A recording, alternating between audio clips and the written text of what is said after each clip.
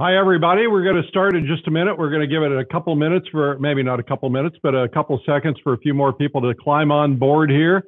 Uh, it is just notifying all the people on Facebook, LinkedIn, YouTube, uh, it's uh, Twitter, etc. And so just hang with me for just a second, and I'll explain what this is going to be all about in terms of understanding the mind of an art buyer today. So hang with me just another couple seconds, if you don't mind. Thank you.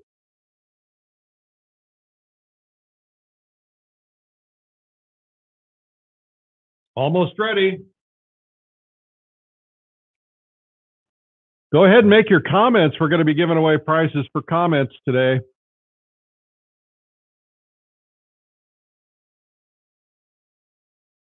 All right, a lot of people on board already. Thank you so much. Okay, so uh, we're going to get started here.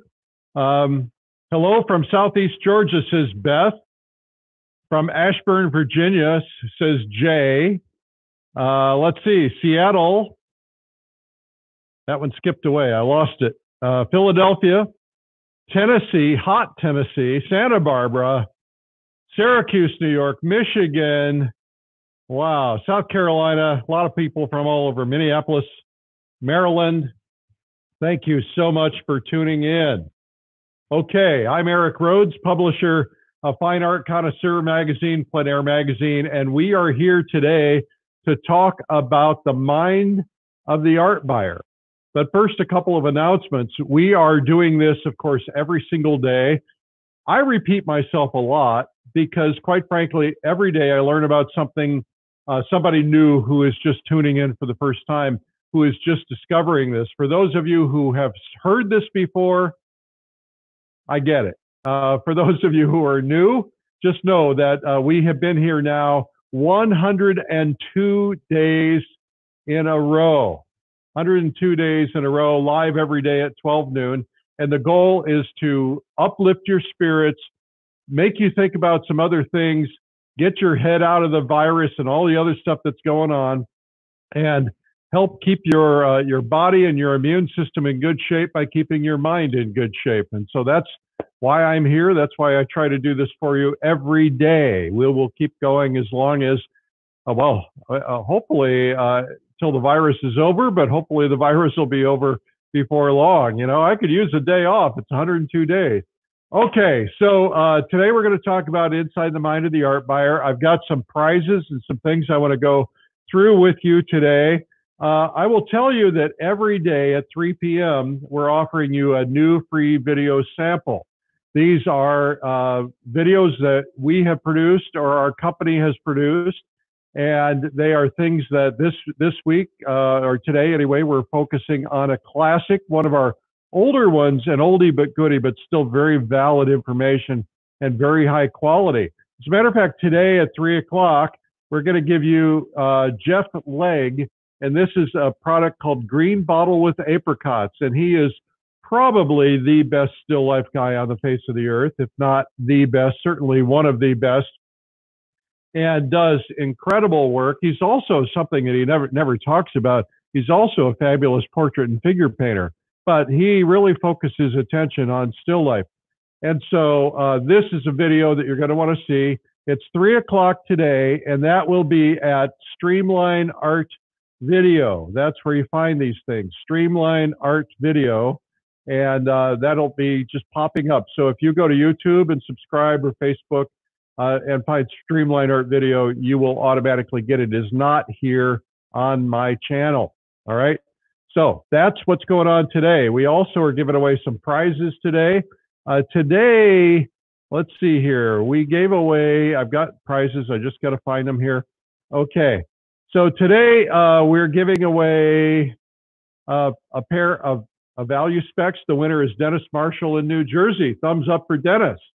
Thank you so much. I'm still getting used to my technology. We also have a Plein Air Magazine apron. The apron is going to Pamela K in Washington. All right, Pamela, thank you for participating. The way to win, folks, is to make sure that you leave comments. If you're from outside the country, tell us where you are, but it's nice to know where you are, no matter where you are and who you are. I want to remind you guys that I've got a blog. It's called Sunday Coffee, comes out every Sunday morning, of course. And it's really more about philosophy on life and thoughts. And it might be something you will find valuable. What people oftentimes say is, I felt like you were speaking to me today. And so maybe that's helpful. Go to sundaycoffee.com, read a couple of them. If you like it, sign up. Okay. All right. So um, today, inside the art, mind of the art buyer, uh, I want to tell you a couple of things real quickly. We have a uh, an event called Plein Air Live. Plein Air Live uh, was designed originally designed for those of you who felt like you needed to get out and and communicate with and be a part of your plein air family to get to know other painters, to paint with other painters, and to learn and grow from some of the best painters in the world. We designed it for the people who were not going to the plein air convention, the people who felt like uh, they didn't want to leave, travel, get on an airplane, put themselves at risk in any way. So we designed that for those folks. And then we also designed it for people who have never been to a plein air convention before. Now, plein air live is not the plein air convention. There's a big difference, but there are lots of similarities, especially the stage teaching. So we have some terrific artists, and I'll go through these artists for you so that you can see it. Uh, I'm not going to mention all the names, but there are some really big, big, important rock star artists that are going to be on teaching for you we have a beginner's day, which is optional for everybody who wants to learn about plein air painting. We will be going through how to paint uh, various things. Now, I saw Barbara Tapp yesterday, who's a really well known watercolor artist. She decided to attend the beginner's day because we're going to teach the basics of oil painting, acrylic painting, watercolor painting, pastel painting, and gouache painting that way you can learn uh, really at a very simple level. We try to make sure that we bring it to a low level so that, you know, those of you who are trying to figure this out can, can do that. And so this is the beginner's day. That's optional. That's a hundred bucks, basically 97 bucks to get into that. You don't have to attend plein air live to get into that. It's a good starter for anybody who wants to learn about plein air. And then we have other categories. We have four days in a row of some of these people that I just highlighted, actually all the people that I've highlighted. And so you'll have an opportunity to watch them live. And it starts basically at uh, 11:30, uh, 12:30 uh, Eastern, 11:30 uh, Central. I'm on Central Time part of the time. So I will do my daily at 12 noon on that day and finish up early, then go right to Plein Air Live four days in a row, July 15, 16, 17, and 18. Two weekdays or three weekdays, one weekend day. Uh, and so if you cannot get off work, uh, you can uh, buy the package that gets you a replay. Every package has a replay. Some have longer replays, and some have lots of stuff, lots of cool stuff. Let me go through that with you for just a second and, and show you uh, if I can. I'll see if I can I can uh, show you what I've got well, I don't know where it is. Hang on a second. I guess uh, I, I guess I'm not going to show you. Anyway, I was going to talk to you about the different packages, but there are different levels that have lots of cool stuff. All right. So the last thing I want to remind you of, and this is a very important thing, if you've been on the fence about going, uh, we know that there's basically one week left. This begins in about a week. So one week from the beginning of Plein Air Live, uh, we are increasing the price by $100. And that starts tomorrow at essentially midnight, uh, 11:59 tomorrow Pacific time. That's when you need to register by to get that extra hundred dollars off. The price increases tomorrow, and we have had a massive volume of people who have have uh, uh, have signed up. And I will tell you that if you signed up and you did not get something from us in the mail, we email you as soon as you sign up. So if you did not get a confirmation, please know that sometimes it ends up in other places. So I found some stuff that I was looking for yesterday in what Google calls the promotions folder. It depends on your, your provider. Sometimes things end up in a spam folder. And so look around for it. If you don't hear from it, contact us and uh, and make sure that you let us know, and we will make sure that you get your confirmation because we want to make sure you're there. a, a virtual conference is so easy.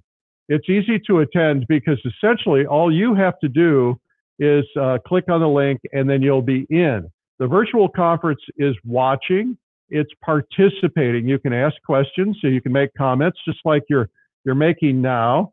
And you can also do a lot of other things, such as uh, go on live with us. Uh, and we have break rooms. You can go into the break rooms and meet other artists. Uh, when we have painting together at night uh, in the evening, you'll be able to do that. And so there's a lot of lot of different things you can do. And so um, I seem to have lost control here of my Mac. My mouse has frozen up and I can't click on any of this stuff. so this could be a problem today. And uh, so I'm not sure how I'm going to correct that, but I may have to uh, may have to punt here for a minute. This is called pivoting. Uh, look for a way to pivot. Let's see if I can figure out what's going on here. Okay. So I'm going to try and get to my slides and I'm going to ask you to bear with me because I'm going to have to get my laptop to get to my slides. Hang on.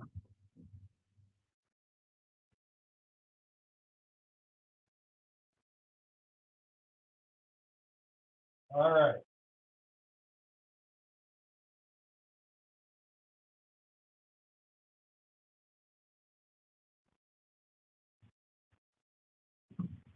Okay, so I'm going to talk about inside the, the mind of an art buyer, and um, we'll see if we can make this work, uh, hopefully, because I had my mouse freeze up. So one of the things that it's very important in all marketing, as you know, I teach marketing to artists. I'm trying to always give you tips and ideas, uh, 102 days in a row of this. And it's always important in all marketing to understand your customer, know who your customer is, know how they think, know what they're thinking about, because if you can do that, you can make a huge difference in uh, in, re- in in their response. So, all right. So the the first thing I want to say is that all decisions that all people make in all cases are emotional. Now you might say, well, how could buying a bottle of Clorox be emotional? The emotion is the brand. So a product has, uh, you have a perception in your head that a brand is better than another brand. Uh, that's a little bit logical, but it's also emotional. You might uh, you might like that brand for unknown reasons, but it might be the smell of clean or the smell of lemon. Those are emotional decisions. So when we're talking about people who buy art, please know that buying art is an emotional decision. All buying decisions are emotional, but they're rationalized by logic. Most people will rationalize anything. So, why does somebody need a Mercedes Benz or a Lexus instead of a, uh, a lesser expensive car? And those are emotional decisions. Now, they will tell themselves, well, it's a better car, it's German made, it's it's uh, it's a uh, it's got you know beautiful leather. It's got all these gadgets. Those are rationalizing with logic, but they are emotional decisions because the reality is that emotion is what's driving that purchase. We'll get into that in a minute. You'll see this. Rarely does somebody ever set out to buy a piece of art. Now, there are occasions, you know, if somebody is going to the Coeur d'Alene art auction or they're going to a uh, the Sotheby's or Christie's, they're there because they have seen something that they want to buy, and they are a collector. Uh, the, there are a lot of collectors in the world, but the majority of art does not sell to collectors. The majority of art sells to everybody else. So there are people who set out, but most people oftentimes don't set out. You know, like I'll I'll see somebody wander into an art gallery and what do they say? Someone walks up and says, Can I help you? And they'll say, Just looking, right? They don't necessarily set out to buy something. They're just kind of looking around. But if something appeals to them, then all of a sudden they can become a buyer. So, unlike products, art is very personal. And what I mean by that is that all products have an emotional appeal, but art has a very personal appeal. In other words, uh, Mercedes is a wide brand. It appeals to a lot of people who want that high quality car, that status car. Uh, it's a wide, but uh, if you were to paint a, a, landscape on the side of the door of that car, heaven forbid, uh, you you would say, "Well, I don't want that car."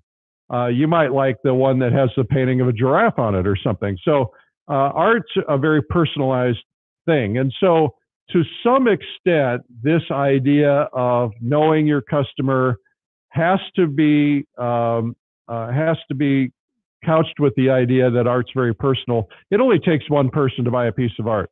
You don't need a lot of people to buy it. You just need the one person who it resonates with, and so you you have to keep that in mind. And so, no matter how much marketing you do, ultimately it's going to come down to does it resonate? Now, you can help them make the decision to buy their uh, something that they've they've had appeal to them. If you hang with me for a second, art is usually not always, but usually an impulse buy, meaning they didn't intend. They they see something, they absolutely have to have it. Raise your hand, make a comment if you've ever bought something that's an impulse buy.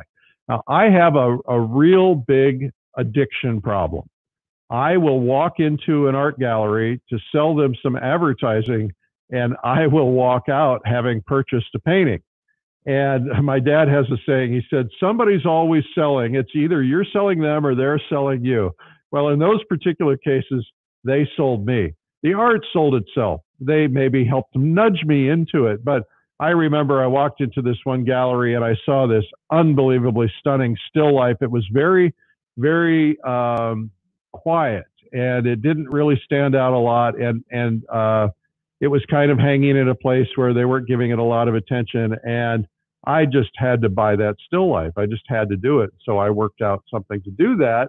And uh, it was completely an impulse thing and and that's uh, that's a problem for me. So I have to be really careful. I have to tell myself sometimes when I'm going in on business, I am absolutely not going to buy anything now. But the problem is, we all tell ourselves that, but then we find something we want, we oftentimes buy it. Now, art is pure emotion.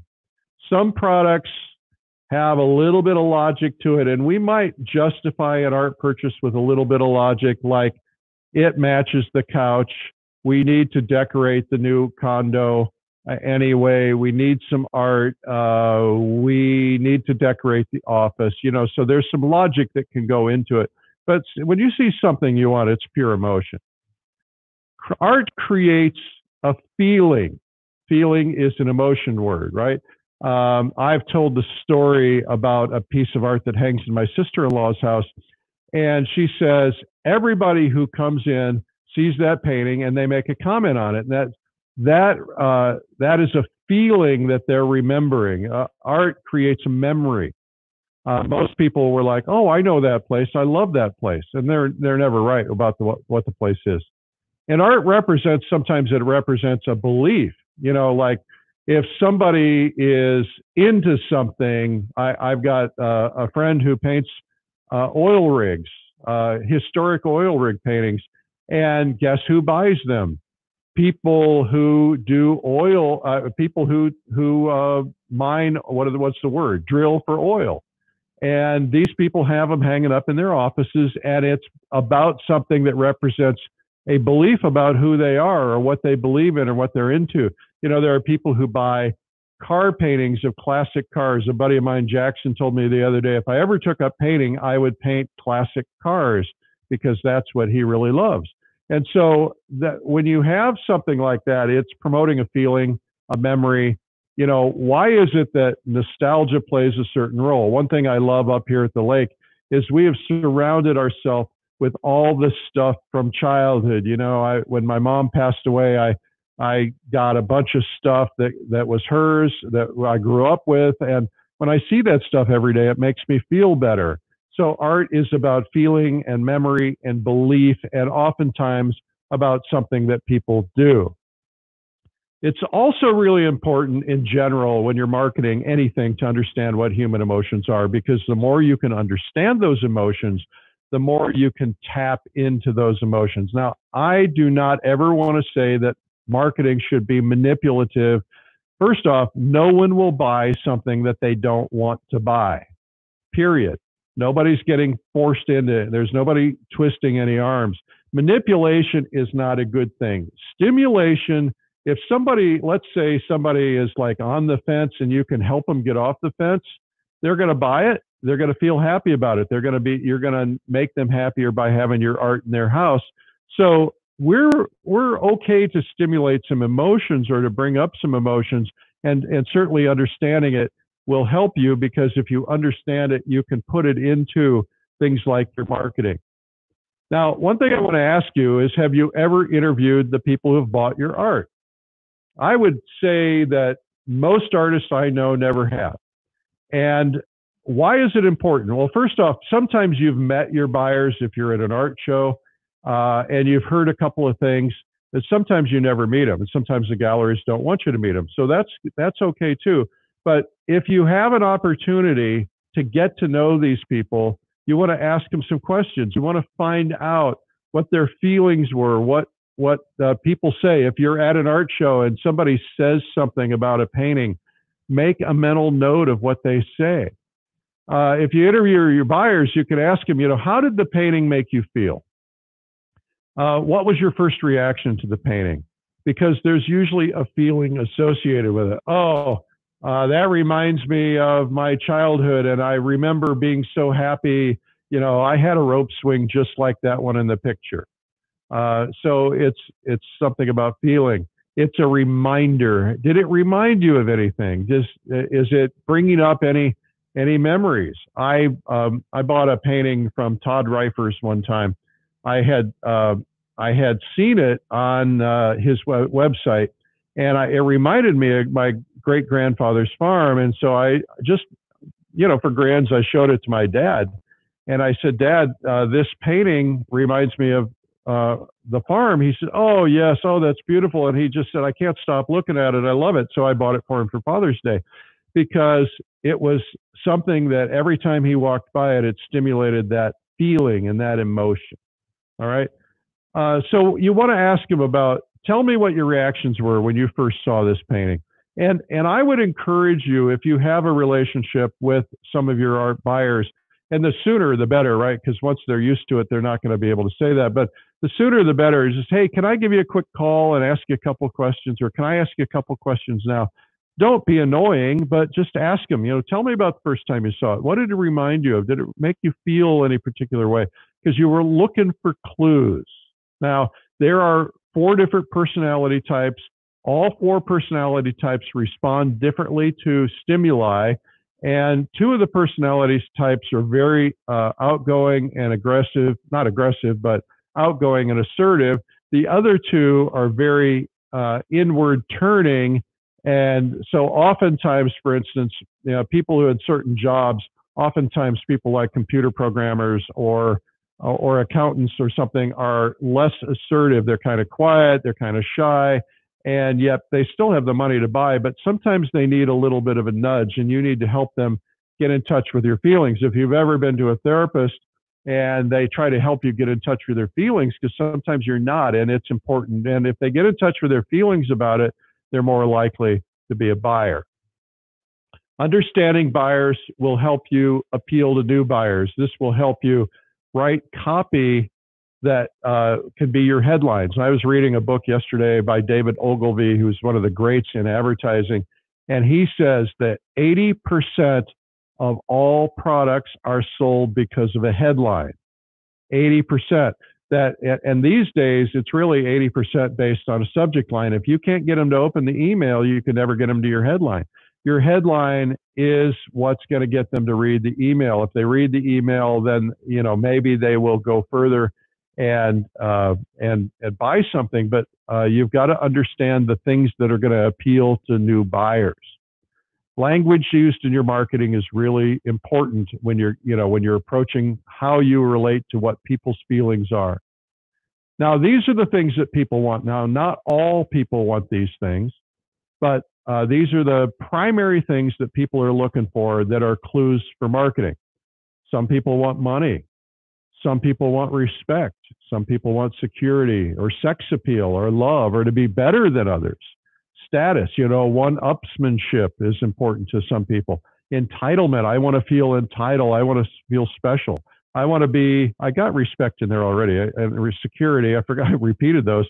Hope and your desires fulfilled. And sometimes there's secret desires, right? That they would never share with anybody. They want their dreams to come true, to be realized. They want a better future. They want to be the cool kids, you know, like the people who are coming to Plein Air Live. They're the cool kids. And so this is what you want to do and, and, and use that in your marketing to some extent and look for triggers that appeal to the people, the type of people who are more likely to buy your paintings. For instance, if you're appealing to baby boomers, by the way, baby boomers have all the money. A lot of people want to market to the millennials, but the millennials don't have as much money. So uh, it's like 60 or 70 percent of all available spending in America is baby boomers. And so uh, if you're if you're a millennial millennial yourself, you're going to want to try to sell to millennials. But the reality is, if you can sell to people who have money, you're going to have better results. Remember what I say: stand in the river where the money is flowing. And so um, look for things that are important to your buyers. If you find, for instance, let's say you're going to the Coeur d'Alene art auction and you know that all the buyers in that room want to own uh, a George Carlson painting, a Scott Christensen painting, a, a Jeremy Lipking painting. Uh, they want to own them. Why? Because they're the best.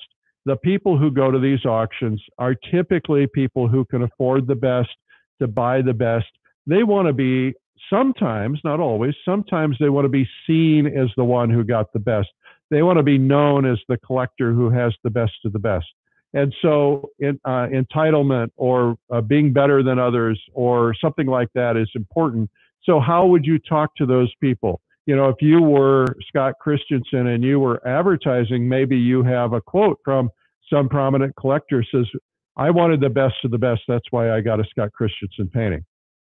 Scott Christensen, by the way, is going to be in Plein Air Live. All right. So, but not everybody wants the same thing. So don't mix this up. There's a lot of different things that different people want. We all want to feel important. Everybody on earth wants to feel important. Now, this is uh, from Maslow, and this is called the hierarchy of needs. And it starts at the bottom pyramid, psychological needs we all, at the very base of all of our needs, we need air, water, food, shelter, sleep, clothing, and we need to reproduce. Uh, so those are psychological needs. No other needs can be met until those needs are met. I mean, right now, if somebody can't pay their pay their bills and get water or get food, they're not likely to be thinking about buying a painting. So all psychological needs have to be met next beyond that is security and safety, right? If somebody's just lost their job, they don't have the money, you know, the resources, if their health is bad, uh, they uh, are they're living in a riot zone, and the the uh, or uh, the you know the thing that is most likely to make them happy is to figure out how to how to move. They're not thinking about buying paintings right now, right? So there's safety needs. There's love and belonging needs. This is when we start getting into the the areas that uh, that that this will help people. You know, they want friendships, they want to be intimate with people, they want family, they want to be connected. You know, the the idea of being connected at Plein Air Live, for instance, is the idea that you're going to be like the Plein Air Convention, meeting other people and connecting with those people. That's that's friendship, that's intimacy, that's love and belonging. And then it goes to, to esteem, you know, am I getting respect, self esteem, status recognition? Am I strong? Do I have freedom? You know, a lot of us, I'm self employed because I want freedom, right? I can't work for anybody else because I want to be able to do what I want to do when I want to do it. And then uh, self actualization is the desire to be the most that you can be. That's why I'm always talking about if you want to really, really be happy, just constantly be studying, learning, growing, taking courses, watching videos, reading books, things like that, because these things make you more of what you want to be. So all of this kind of ties into the whole idea of uh, marketing your art and the things that people want. Art is not a product. Remember that. It's not a product. Art provides feelings and dreams and status. So you're not selling a product, you're selling feelings and dreams and status. People never buy products, they buy concepts, they buy solutions, they buy fulfillment of desires. That might be status, it might be something else. They're buying a better future. So keep that in mind. Understand that the mind of the art buyer is where all the gold is. If you understand the mind of the art buyer, everything will resonate much better. And it may just be a matter of one or two things that you say when you're meeting with them in person, or if you're a gallery, two, one or two things that you say that will stimulate their thought to uh, going towards buying the painting. You know, I was I was in Silicon Valley. I started a a a, a, a uh, early stage internet radio, which is kind of like what Spotify is now, and I, I was me- meeting with venture capital people, and they uh, they hired a specialist to teach me how to tell stories in presentations. And they said something to me that I'll never forget that I thought was really interesting. They said, "They're you know yes they're interested in investing, they're interested in making money, but you know what they want most? They want a story. They want to be able to sell to say at a cocktail party, I was an investor in YouTube, or I was an investor in Google. Uh, there's a guy that I met recently who uh, he said, I'm on the board of um, Uber. And those are status things, you know, and, and people love to be able to tell stories. And well, what are the stories that art buyers tell? Um, you know, somebody says, I see you're interested in art. What's in your collection?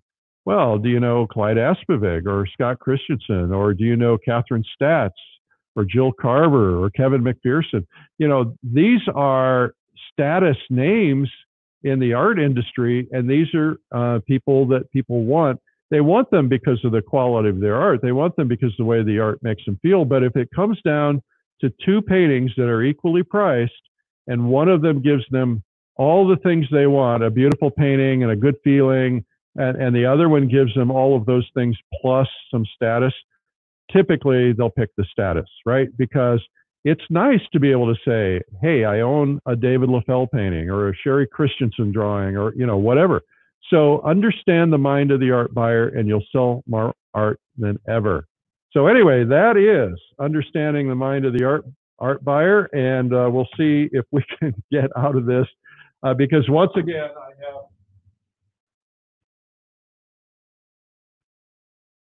once again I have a frozen computer.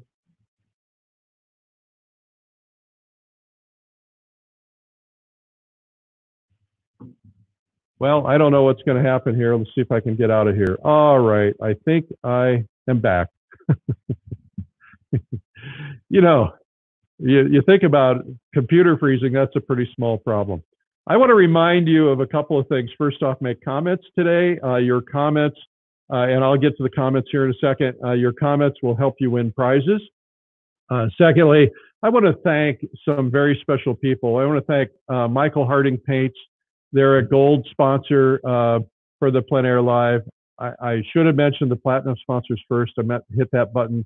Thank you to, to Kyle at Royal Talens and to Rosemary and crew at Laguna Plein Air Painters and to Pierre at Savoir Faire. These people are, you know, they're stepping up. They know you need something to do. They're stepping up to support it. We need to support them. They, like all of us, have had a, a last two or three bad couple of months, I'm sure. So if you can buy some of their product, we're going to put out a PDF. If you're going to Plein Air Live, you're going to get a PDF program, a souvenir program, just like you would get at the convention.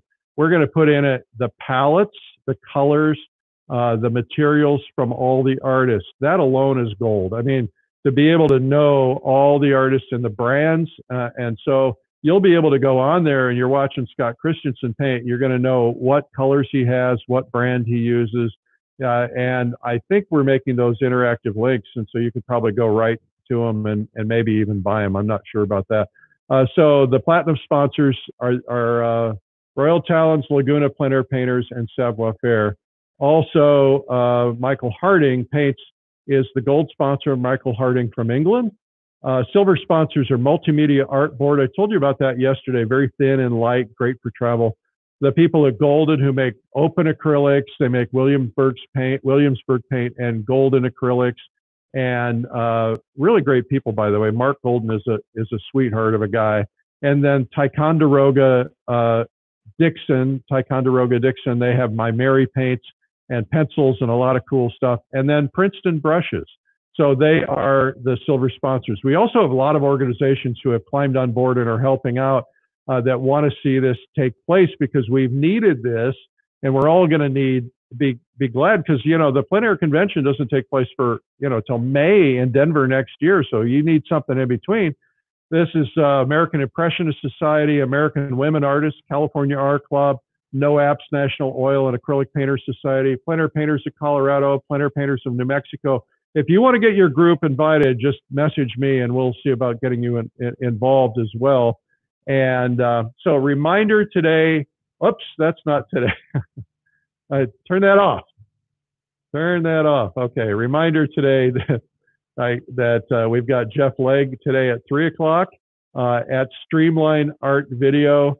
Uh, get signed up for Plein Air Live because you want to make sure that you get in there because of the $100 price increase that happens tomorrow at midnight tomorrow, uh, California time or, or West Coast time. So get your uh, your tickets done. And okay, what am I giving away today? I am giving away uh, my book, Make More Money Selling Your Art, and uh, that is a Amazon bestseller. I'm pretty proud of that. That's pretty cool for me. And also giving away a digital subscription to Plein Air Magazine. A reminder that Plein Air Magazine is the uh, number one selling art magazine at Barnes, uh, Barnes and Noble nationally. So we're pretty proud of that. And the digital issue always has 30% more content. So that's what I've got for you guys today. So I'm going to turn off this this logo, come over and say hello in the comments.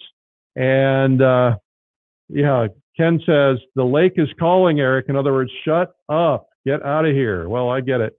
Uh, so uh, thank you for watching today. Thanks to all the sponsors.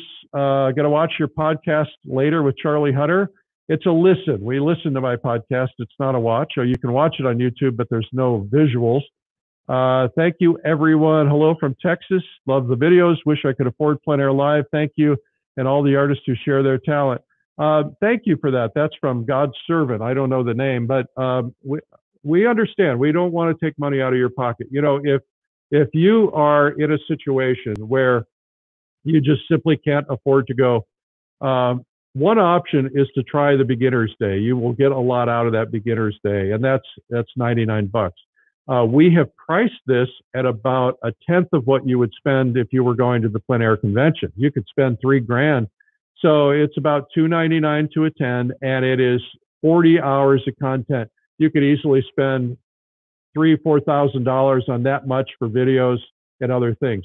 We don't want to take food off the table. If it's a stretch, it might be worth doing because if it's a stretch, what it's going to do is to stretch your mind and make you a better painter. That's the goal of all of this, make you a better painter and connect. If you can't, we understand. And there will be a time you can follow the marketing advice, listen to uh, your goals, follow your goals, and that'll make a big difference.